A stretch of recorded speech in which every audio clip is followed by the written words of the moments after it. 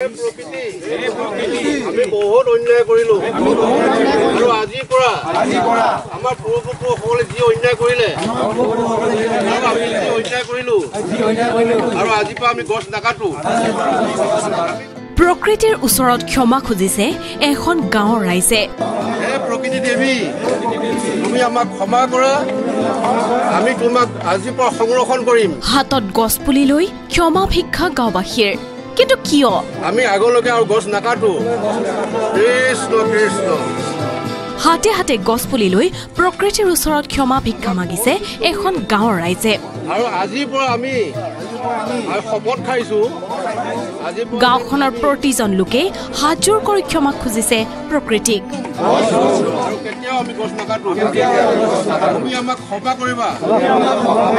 এইখন মৰিগাঁও জিলাৰ কৰাইগুৰি গাঁও প্ৰতিদিনে বৃদ্ধি পাই অহা বন ধ্বংসৰ বাবেই উদ্বিগ্ন গাঁওখনৰ ৰাইজ। সেয়ে হাতত গছপুলি লৈ পণ লৈছে কোনোদিনে গছ নকটাৰ। আমি মানে বহুত গছ অনিষ্ট কৰিলোঁ কাটিলোঁ।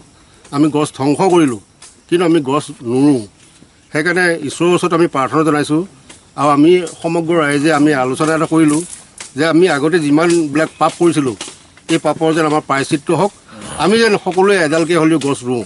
সেইকাৰণে আজি আমি গছ প্ৰত্যেকে আমি নিজৰ নামত এজোপাকৈ ৰুইছোঁ। শৰাইগুৰি সমগ্ৰ ৰাইজে।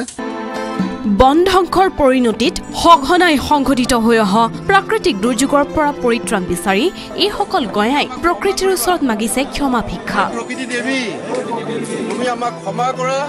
ইয়াৰোপৰি কোনোদিনেই গছ নকটাৰ লগতে কেৱল গছ ৰোৱাৰ প্ৰতিশ্ৰুতি দিলে প্ৰকৃতিক।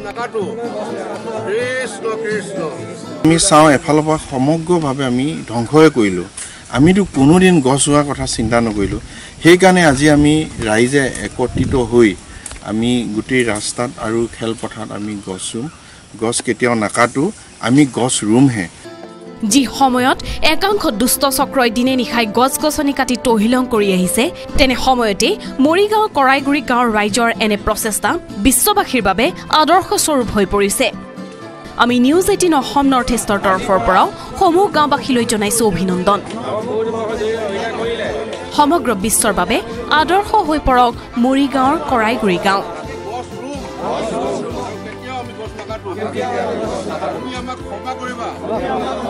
মৰিগাঁৱৰ পৰা Pawanjyoti Deka news eighteen Assam north east.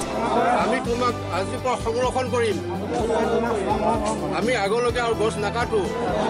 Krishna Krishna